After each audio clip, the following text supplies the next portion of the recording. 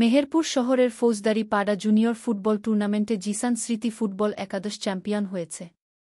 রবিবার বিকেলে মেহেরপুর সরকারি বালক উচ্চ বিদ্যালয় মাঠে অনুষ্ঠিত ফাইনাল খেলায় জিসান স্মৃতি ফুটবল একাদশ চার শূন্য গোলে জুনিয়র ফুটবল একাদশ ফৌজারি পাড়াকে পরাজিত করে। খেলায় বিজয়ী দলের পক্ষে শান্ত দুইটি, আকাশ একটি এবং বিল্লা একটি গোল করেন।